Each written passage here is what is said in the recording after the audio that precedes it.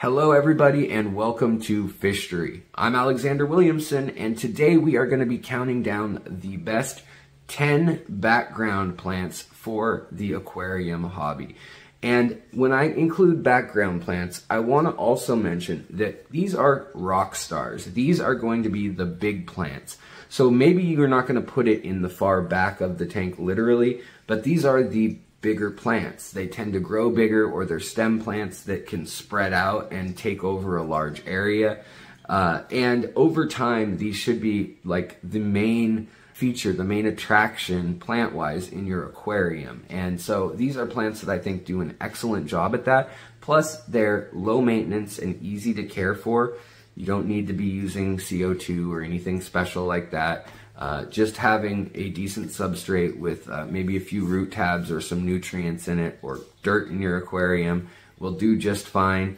Uh, and I think that these are some of the more interesting looking ones also that are still accessible. They're not so rare and far out there that you won't see them. Now, if you want to get a hold of some of these plants, I have links in the description to uh, Aquatic Arts and to Dan's fish that both sell plants plenty. And with all those, they're people that I've vetted and trust, and you get a discount. So if you want to check it out, feel free to check out the links in the description. And also uh, hitting that like button really does help. Lately, uh, it's had a really hard time on the channel uh, getting people alerted that the videos are even up. So if you could do that, or maybe even leave a comment of your favorite background plant or favorite rock star, standalone, interesting plant for your aquarium, uh, I'd really appreciate that. It means a lot to me. And uh, if you enjoy this kind of video, let me know by uh, doing that.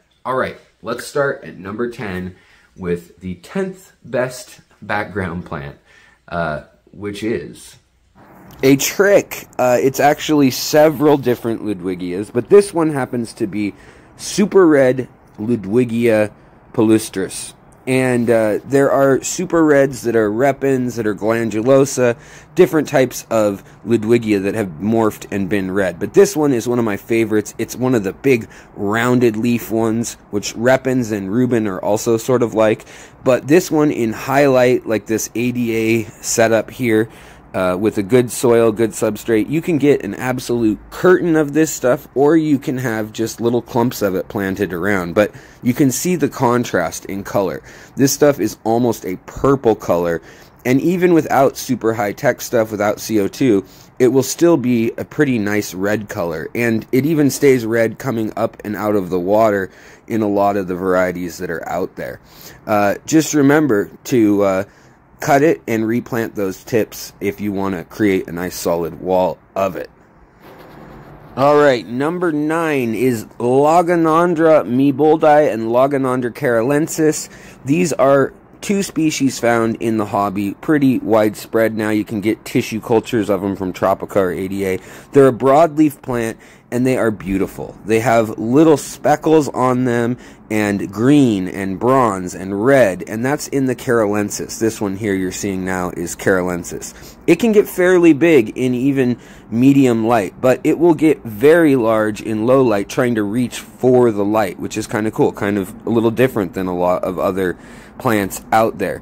But you can really see the details and almost little patterns and even like little trees or faces or mazes or I don't know, whatever you think you see in, in this plant, it's one you can really stare at. Now there's other versions of these Lagenandra. There's Lagenandra meeboldii, which is another very common Lagenandra in the hobby. And that comes in red and chocolate. And in a minute here, we'll see it comes in silver powder. And I paid way too much money, uh, almost $300 for this for the first time that I had it uh, years and years ago. Now it's closer to thirty to fifty dollars, and these leaves will get a foot long in uh, low light with proper nutrients. And uh, in highlight, it can do well too. But just remember that the sparkles on there are really, really beautiful. And if it has too high a light, it'll get burned out, and uh, you won't have that nice subtle silver sparkle. There's also a pink sparkling version too called Pink Princess. All right, coming in at number eight is Crypt spiralis Red and Red Tiger. these are beautiful plants. Now, the red variety that you see here, it comes to the top of just about any tank as long as it's, you know, not more than two or three feet deep. But these things can reach very, very tall and they have thin little stems and they create this nice little jungle effect in the corner. This is the tiger version, the red tiger Crypt spiralis. And this is another really beautiful version. It doesn't have green down the center and it doesn't have as much peach in, in it, but you can see the uh, normal red version, the non the non tiger version, it has that green that turns to peach when it's in high light uh, up at the top. However, if it's in too high of light for too long, sometimes it gets burned out. So just be a little careful with that, but you can make a nice thick jungle of it. So next on our list is going to be Lagenandra pontanale, and this is one that is just a little bit different. At number seven, this one can be a beautiful, almost otherworldly red, pink, and fuchsia with this kind of beautiful pale straw yellow and peach colored uh, stem or lower part of the leaf. And then the tips are actually bright, soft pink again. Uh, in highlight with CO2. Now, if it doesn't have that, if it's in a low tech tank, it's actually a rainbow colored Ludwigia. It comes in peach and orange with little hints of red and green, dark green, light green, uh, and you know orange all throughout it. And it's this nice little pom pom of a plant. One or two rows of it you can plant next to each other. Uh, it's got a nice red stem usually, uh, or at least a nice orangey kind of uh, pinkish stem if it's not in highlight. And you can get anywhere from uh, soft greens in low light tanks to all the way to this really bright pinks and even like blondes if it's in a super highlight tank uh, with CO2 and high fertilizers. But it's just another one to show off how versatile making an actual screen of plants can be. Number six, Aponogeton Madagascar Lace. Now, this is an incredible plant. You may have seen this before. I hope you've seen this before. It is a plant unlike any other plant out there. It has a crazy pattern with Swiss cheese or more of a grid of holes in it, like a fine textile.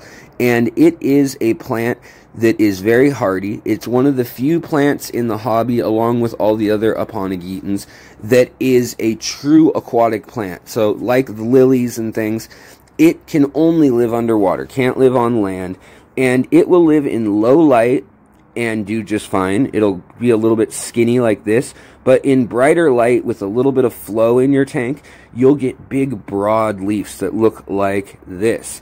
And these leaves get wide, like up to six inches wide, up to two feet long. They'll fold over, they'll get floppy if you got a lot of flow in the tank. It looks so good in a big tank. And speaking of looking good in a big tank, number five, Cyperus helferi. I know that's spelled, it's pronounced a little funky, but this is just about the biggest grass plant you're going to get in the hobby commonly.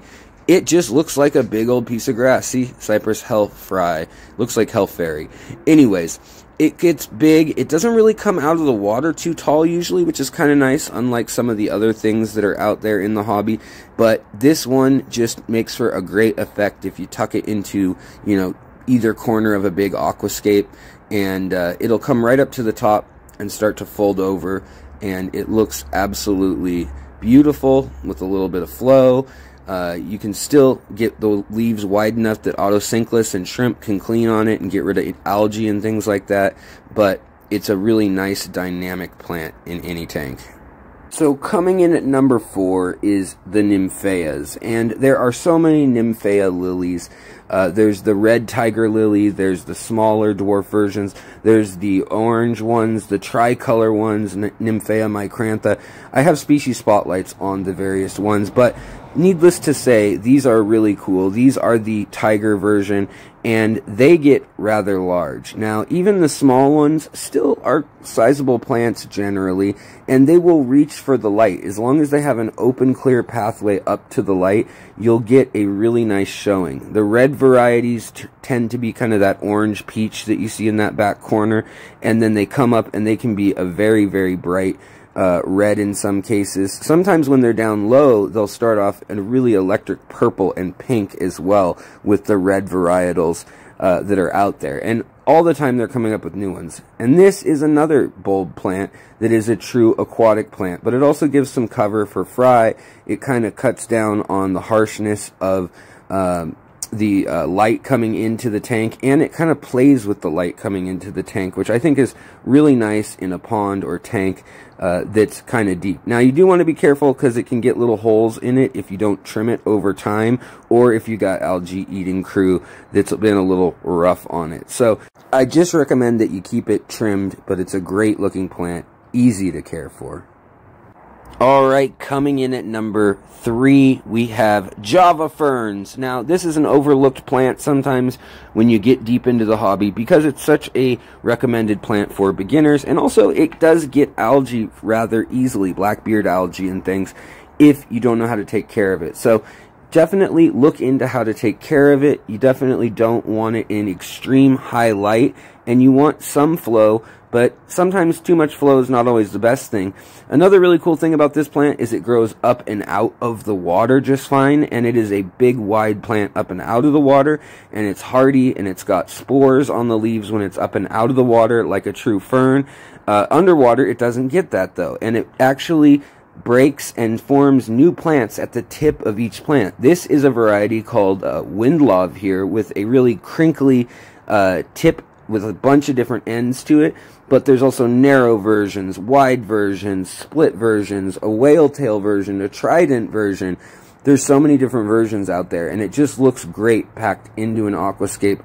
Uh, you know, gives you that big wall of green, easy to care for, and doesn't actually have roots. It has rhizomes, so it can be planted on wood or stone. Alright guys, we're almost there. Coming in at number two, we've got Hygrophila pinnatifida. And hygrophilas are a really diverse group of plants, but this one is special to me. It looks like a fern, but it's not a fern. It grows like a stem plant, and you can keep this even as a foreground plant if you have really high light and you keep it trimmed. It has this fern-like node at every section, and each section it'll grow a long section of stem and then another node of these ferns. And in the US, we have kind of a greener version traditionally, but the last few years we've been seeing this version, which is UK version or European version of Pinnatifida, and it is red, and some of it is literally bright, fiery red with CO2 and high light and all that, but it can grow in low light too. All right, coming in at number one is one of the most diverse plants in the hobby, Anubias. And this one here is a Barteri uh, and Fraseri cross. And that makes it really unique. I did that by pollinating and hybridizing at home. But this one got absolutely massive over the last four or five years and has grown up and out of the tank since it was a little plant and just spills out. And also, you can see that it flowers when you allow it to grow up and out of the tank, which is really cool. And it leaves these little flower corn kernel things uh, that almost look like they're made out of plastic with uh, pollen on the inside. But you can then use a little brush or something and pollinate that when it grows up and out of the tank. But they'll also bloom sometimes underwater, and they can provide a whole dark area and a lot of contrast in your aquarium because they get so big when they come up out of the aquarium, even if they're kind of a medium sized plant underwater. They're also extremely easy to take care of, and pruning them will really help keep it looking great. All right, you guys, we counted them down together. Thank you so much for sticking around through this whole thing. You're a champ. You're one of only 30% of the viewers that do that on this channel, but it does mean a lot to me, and I really do appreciate it. Uh, also, be sure to check out in the future, I'll have a foreground plants video coming out very soon. And uh, check out any of my other videos on plants and uh, botany of the aquatic universe as well if you're interested. Uh, and I will see you guys next time. Take care and have a great day. Bye.